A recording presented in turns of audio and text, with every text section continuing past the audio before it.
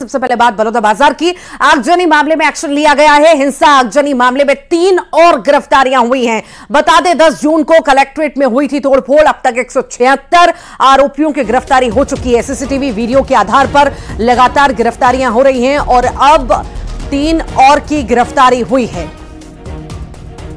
तो बलौदाबाजार आगजनी मामले में यह बड़ा एक्शन लिया गया। बता दें, तीन और आरोपियों की गिरफ्तारी हुई है। 10 जून को कलेक्ट्रेट में तोड़फोड़ हुई थी आगजनी हुई थी और इसी मामले में एक सौ छिहत्तर गिरफ्तारियाँ हो चुकी हैं। सीसीटीवी वीडियो के आधार पर लगातार गिरफ्तारियाँ हो रही हैं। तीन और आरोपियों की गिरफ्तारी, इनसे भी पूछताछ होगी और ये हो सकता है आने वाले समय में और लोगों की भी गिरफ्तारी इस मामले में हो। लगातार जिन जिन की गिरफ्तारी हुई है, उनसे पूछताछ में कई नाम सामने आए, जिसके बाद उनकी भी गिरफ्तारियाँ हुई। अब तीन और गिरफ्तारी।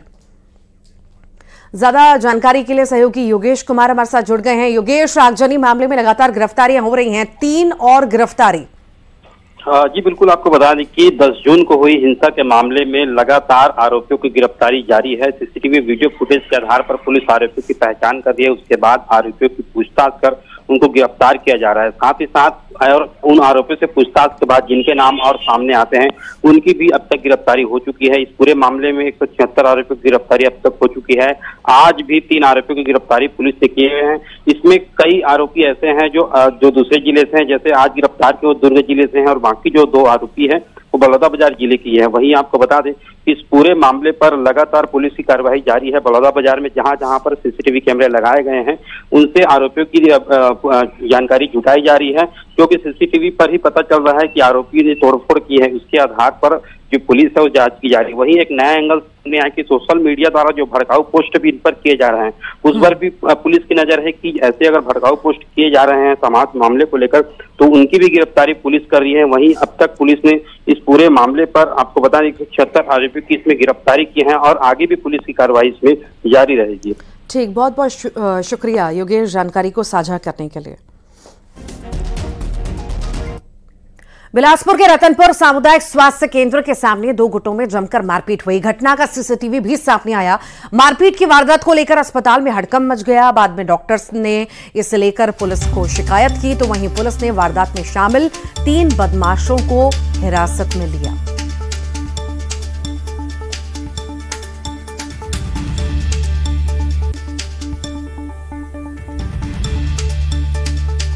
और ज़्यादा जानकारी के लिए सहयोगी उमेश हमारे साथ जुड़ गए उमेश, क्या है मामला, बताइए। ये रतनपुर थाना क्षेत्र के सामुदायिक स्वास्थ्य केंद्र का पूरा मामला है, जहाँ पर सीसीटीवी में आप जो वहाँ पर लगा था, वहाँ पर पूरी घटना जो है कैद हुई है। जिस तरीके से दो गुटों के बीच मारपीट हुई है हाथ लात और घूसे से मारपीट करते हुए जो बदमाश है, वो दिखाई दे रहे हैं। जिस समय ये घटना हुई उस समय अस्पताल में कई मरीज़ जो थे वो इलाज कराने पहुँचे थे। अफरा तफरी का माहौल मच गया था। इस बीच डॉक्टरों ने इसकी सूचना थाने में दी। थाने के जो सिपाही है, वो तत्काल मौके पर पहुँचे और तीन लोगों को हिरासत में लिया। पूछताछ में पता चला है कि एक्सीडेंट का पुराना मामला था और वो पुराना मामला हॉस्पिटल पहुँचा हुआ था इलाज कराने के लिए। इस बीच दो गुटों में पुरानी रंजिश को लेकर मारपीट हुई। फ़िलहाल पुलिस तीन लोगों को हिरासत में लेकर पूछताछ कर रही है और आगे भी किस तरीके की क्या इसमें और लोग भी शामिल है, ये देखने वाली बात होगी। लेकिन कहीं ना कहीं एक बड़ी घटना निकलकर सामने आई है, जिसमें तीन लोगों को पुलिस ने हिरासत में लेकर पूछताछ कर रही है और आगे की कार्रवाई कर रही जी। ठीक बहुत बहुत शुक्रिया।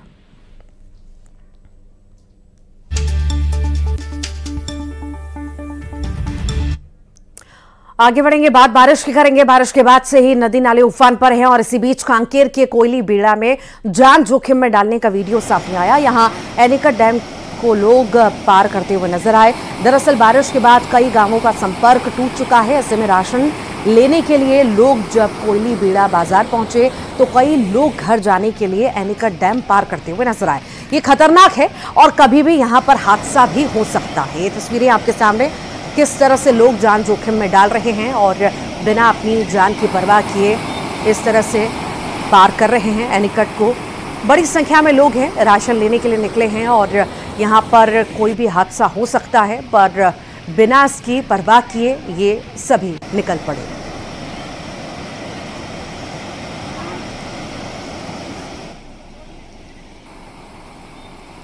और उधर जशपुर से भी एक ऐसा ही वीडियो सामने आया, जहाँ डेंगुर ज़ोर नाले को पार करते समय ड्राइवर ने बड़ी लापरवाही बरती। स्कूली बच्चों से भरी बस को ड्राइवर ने पार कराया, जबकि नाला उफन रहा था। ये तस्वीरें आपके सामने कई बार ऐसी तस्वीरें आती हैं जब स्कूल बस ड्राइवर जो है इस तरह की लापरवाहियाँ करते हैं और जान जोखिम में बच्चों की भी डालते हैं और बड़े हादसे भी कई बार हो जाते हैं। और यहाँ पर भी कुछ ऐसी तस्वीर जशपुर में जहाँ पर ड्राइवर की लापरवाही दिखी गई। बहुत ज़्यादा पानी भरा था, उसके बाद भी पानी से ये पार कराई गई बस, स्कूली बच्चे इसमें सवार थे। पर उनकी जान की परवाह किए बिना ये रिस्क ड्राइवर के द्वारा लिया गया।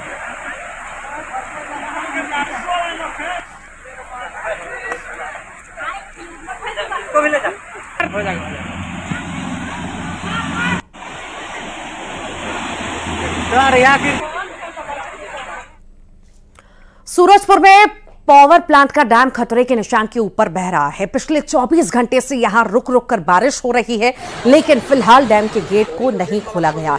चिकनी गाँव के महान नदी पर पावर प्लांट का डैम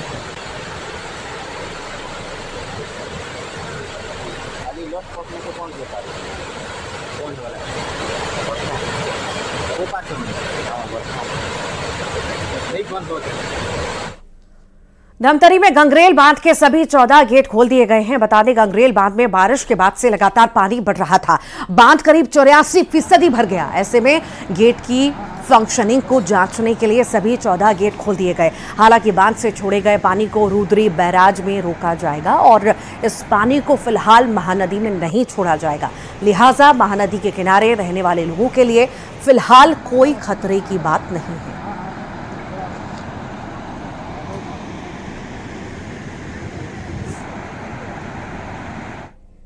अगस्त को लंबे समय के बाद अब देखिए कि गंगरेल बाँध के गेट खोले गए हैं। बाँध करीब करीब चौरासी फ़ीसदी अभी भरा हुआ है और अभी तेरह गेट खोल दिए गए हैं। चौदह गेट खुला है यहाँ पर। अब देख सकते हैं ये पानी महानदी में रुद्री बैराज की तरफ़ छोड़ा जा रहा है। धमतरी कलेक्टर नम्रता गांधी जी खुद यहाँ पर मौजूद है। उनसे पूछते हैं कि आज जो गेट खोला गया है वो किस स्थिति में खोला गया मैम? जो गंगरेल बाँध है, वो भी चौरासी परसेंट कैपेसिटी पे चल रहा है और आज जो गेट्स खोले जा रहे हैं, वो ट्रायल के रूप में खोले जा रहे हैं और पानी को रुद्री बराज पे रोक लिया जाएगा। इसका उद्देश्य ये है कि आने वाले समय में, क्योंकि गंगरेल, पानी, बारिश अच्छी हो रही है तो जब पानी छोड़ना पड़ेगा तो गेट्स प्रॉपरली वर्क कर रहे हैं, नहीं कर रहे हैं, उसका पूरा ट्रायल करने के लिए। अभी जो पानी है बाँध में सफिशियंट इसके सहायक बांधों में जो पानी है, उनको लेके अपन क्या अनुमान लगा सकते हैं कि क्या सफिशियंट पानी हो चुका है? सफिशिएंट अभी भी नहीं बोलेंगे। दस दिन और ऐसी अच्छे से बारिश हो जाए और ninety ninety five percent capacity पे बाँध पहुँच जाए, तब उसको सफिशिएंट बोलेंगे। ये बेसिकली ट्रायल है कि तब जब छोड़ना पड़े तो गेट्स वर्किंग सिचुएशन में है, कहीं कुछ रिपेयर की आवश्यकता है या नहीं, वो देखने ये जो ट्रायल है कि बाँध का हाल ही में उसका पूरा रिपेयरिंग किया गया है और ऐसे में जो उसका फंक्शनिंग है, उसकी मशीनें हैं, वो आपात स्थिति में ज़्यादा पानी छोड़ने की नौबत में प्रॉपर फ़ंक्शन करते हैं ये टेस्ट किया जा रहा है। जयपुर में दो महीने बनी गंगाल, महीने पहले बनी गंगालूर से नील नीलसनार की सड़क। पहली बारिश में बह गई है। 20 से 30 किलोमीटर लंबी सड़क में पुलिया बनी थी। करीब छप्पन करोड़ की लागत से ये सड़क बनाई गई थी। आरोप है कि अधिकारियों और ठेकेदार की मिली भगत से इसकी लागत करीब 112 करोड़ रुपए हो गई। लेकिन पहली बारिश में ही ये सड़क बह गई। इससे लोगों में काफ़ी नाराज़गी है। स्थानीय बीजेपी नेताओं ने मुख्यमंत्री से इसकी जाँच की मांग भी की है। जगदलपुर पहुँचे सीएम साय ने भी इसका संज्ञान लिया। किया और कहा कि भ्रष्टाचार करने वालों के खिलाफ कार्रवाई होगी और सरकार इन्हें बख्शेगी नहीं। भ्रष्टाचारियों को जेल जाना पड़ेगा। सबसे बड़ी दुर्भाग्य की बात कि जिस सड़क और पुल पुलिया निर्माण में भ्रष्टाचार हुआ है उस सड़क और पुल पुलिया के लिए हमारे पुलिस के जवान सुरक्षा में होते हैं और नक्सलियों के लगाए गए आईडी और कई बार ऐसे होते हैं कि आ, जब हमारे जवान आरोपी के तौर पर उस सड़क में सुरक्षा देने जाते तो नक्सलियों के फायरिंग में उनकी मौत हो जाती और वो शहीद हो जाते। शहदाद पुलिस जवानों के शहदाद पर जिस तरीके का भ्रष्टाचार सुरेश चंद्राकर और पीडब्ल्यूडी के अधिकारियों ने कांग्रेस शासन काल में किया है, मैं चाहूँगा कि माननीय विष्णु साय जी उसकी विधिवत जाँच कर दोषियों पर कार्रवाई करें। देखिए, कोई भ्रष्टाचारी बचेंगे नहीं। आप लोग देख रहे हैं भ्रष्टाचारियों का तांता लगा है जेल में जाने का। चाहे वो शराब में भ्रष्टाचार किए हों चाहे कोयला में किए हों चाहे डीएमएफ में किए हों चाहे किसी भी क्षेत्र में जो भी भ्रष्टाचार करेगा वो बक्सा नहीं जाएगा। सबकी जाँच हो रही है सबकी जाँच करवाएँगे और दोषीदार कोई बक्से नहीं जाएँगे। बलौदा बाज़ार में गायों की मौत के बाद जिला प्रशासन हरकत में आया है। लापरवाही बरतने को लेकर चार लोगों को हिरासत में लिया गया। बता दें कि कलेक्टर के निर्देश पर यह कार्रवाई हुई है। कांजी हाउस में चौदह गायों की मौत हो गई थी। गायों की देखरेख की ज़िम्मेदारी किसान समिति की थी, लेकिन गायों को कांजी हाउस में रखने के बाद किसी ने सुध नहीं ली मामले के सामने आने के बाद आला अधिकारी मौके पर पहुँचे। अब जिम्मेदारों पर कार्रवाई की जा रही है।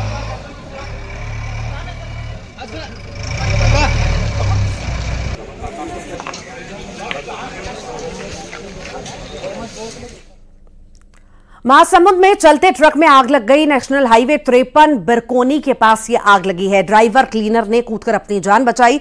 बता दें रायपुर से पश्चिम बंगाल ये ट्रक जा रहा था। अचानक से आग लगी और समय रहते ड्राइवर क्लीनर के द्वारा कूदकर जान बचाई गई। वरना ये दोनों भी इसकी चपेट में आ सकते थे।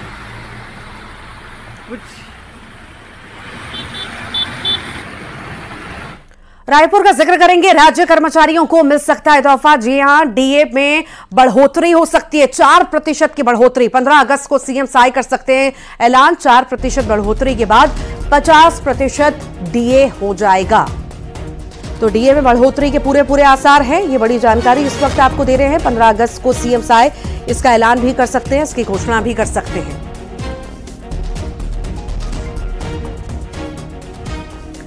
ज़्यादा जानकारी लेंगे हम। सहयोगी आकाश शुक्ला हमारे साथ जुड़ गए। आकाश, कर्मचारियों को बड़ा तोहफा मिलने की तैयारी है। डीए उनका बढ़ सकता है और क्या हम माने कि 15 अगस्त की जैसे तारीख सामने आई है, इस पर ये ऐलान घोषणा भी हो सकती है सीएम के द्वारा?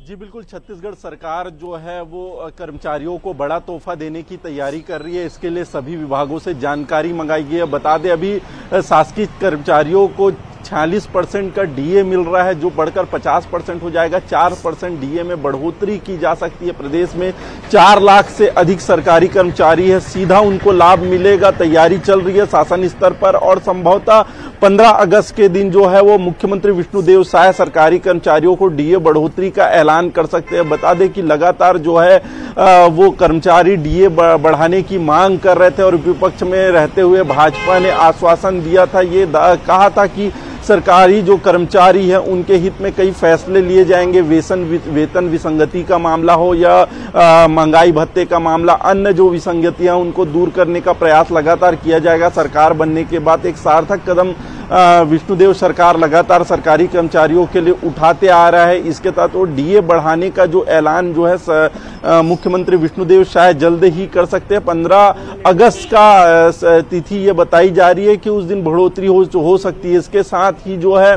अन्य मांगे जो है वो भी पूरी की जा सकती है। जी। जी ठीक ठीक बहुत बहुत शुक्रिया जानकारी को साझा करने के लिए आकाश। कवासी रखमा के बयान पर सीएम साय ने पलटवार किया है। कांग्रेस के अयोध्या न जाने के फैसले की आलोचना करते हुए सीएम ने इसे पाप करार दिया है। विष्णु देव साय ने कहा कि भगवान के दर्शन के लिए निमंत्रण दिया गया था।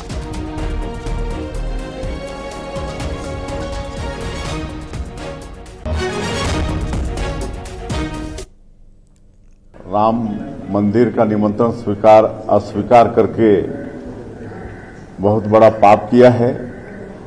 किसी का भी निमंत्रण ठुकराया नहीं जाता है।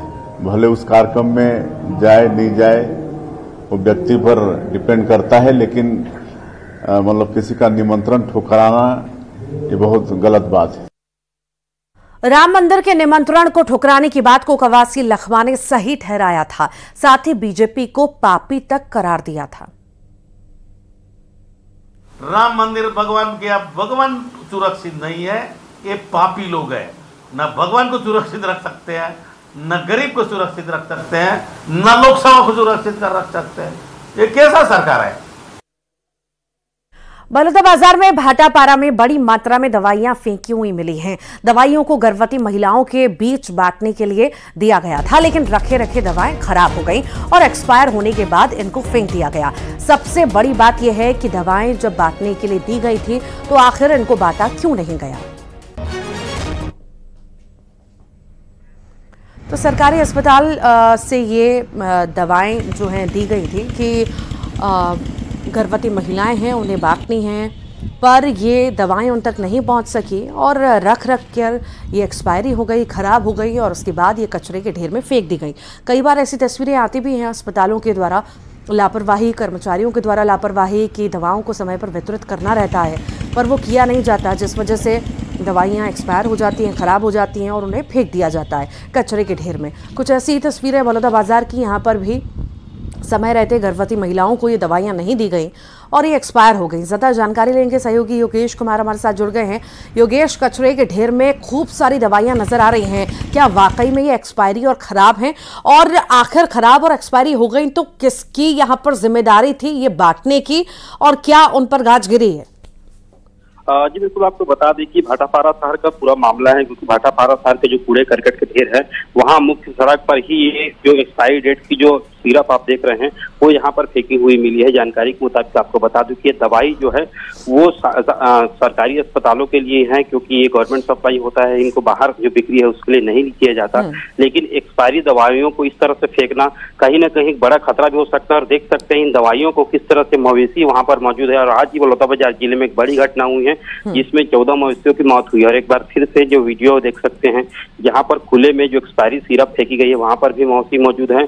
इससे पहले पहले भी एक साल पहले भी खुले में जो दवाइयाँ फेंकी गई थी वो गाँव में फेंकी गई थी जिस पर कलेक्टर ने एक बड़ा एक्शन लिया था और आज फिर भाटापारा शहर में जो एक्सपायरी जो सिरप है वो वहाँ पर फेंकी गई है।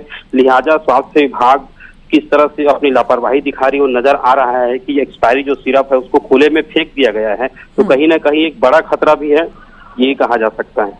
वाकई बड़ा खतरा मवेशियों के लिए है ही है, पर सवाल ये भी है कि इतनी सारी बड़ी संख्या में दवाइयाँ फेंक दी गई। आखिर जो जिम्मेदार थे, जो कर्मचारी थे, जिन्हें बांटनी थी, उन पर गाज कब गिरेगी, ये देखने वाली बात होगी। बहुत शुक्रिया। रायपुर में कलेक्टर ने बड़ी कार्रवाई की है। चार आदतन बदमाश यहाँ किए गए हैं ज़िले से बाहर। पाँच जिलों से बदमाशों को किया गया है बाहर। एसएसपी की अनुशंसा पर कलेक्टर ने यह कार्रवाई की है। बता दें, फरीद खान, राजेश्वर, यासीन, जिला बदर हैं।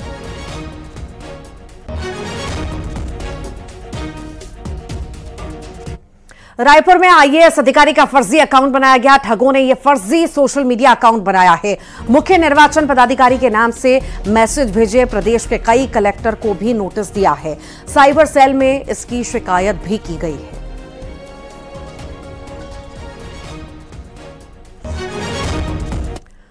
बिलासपुर में प्रशासन ने अवैध कब्जे को लेकर कार्रवाई की है। विद्यानगर, विनोबा नगर में सड़क पर अवैध कब्जे को नगर निगम की टीम ने हटा दिया। साथ ही दुकान के सामने रखे गए सामान को भी जब्त कर दिया। साथ ही सड़क किनारे लगे ठेले गुमटियों को भी हटाया गया है।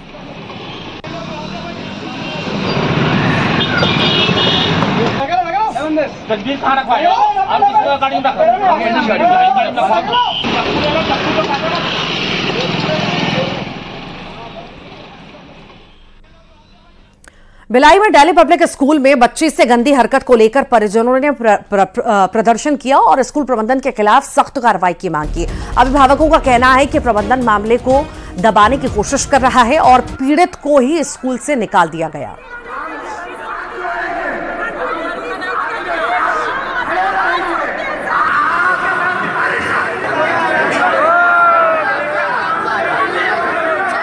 कि बच्ची जो जब से आई है स्कूल में और जब बच्ची गई है उस दौरान जो है बच्ची वॉशरूम में नहीं गई है। पूरा टाइम वो क्लासरूम में बैठी हुई है। और जब शुरू में, ये लास्ट में जब स्कूल एंड हुआ है तो बच्ची जो है क्लास टीचर के साथ जाकर अपनी बस में चढ़ गई है। सफ़ाई वाली बात नहीं है, क्योंकि स्कूल का नाम कहीं था ही नहीं। तो उसका कोई औचित्य बनता ही नहीं है अननेसरी उस चीज़ को हवा देना। भाई, हमारे अगर पेरेंट्स इतने पेरेंट्स को हमने आने दिया अंदर इसका तो क्लियर कट इंडिकेशन है कि हमें छुपाने के लिए हमारे पास कुछ नहीं है। बलरामपुर ज़िले के फूली डूमर मिडिल स्कूल के हेडमास्टर द्वारा स्कूल में हिडन कैमरा लेकर आने का मामला अब तूल पकड़ता जा रहा है। हेडमास्टर के विरुद्ध टीचर्स एसोसिएशन ने भी मोर्चा खोल दिया। खंड शिक्षा अधिकारी ने हेडमास्टर को कारण बताओ नोटिस जारी किया था। अब टीचर्स एसोसिएशन ने भी हेडमास्टर के विरुद्ध कार्रवाई की मांग की। जिला शिक्षा अधिकारी का कहना है कि हेडमास्टर के विरुद्ध विभागीय जाँच की जा रही है।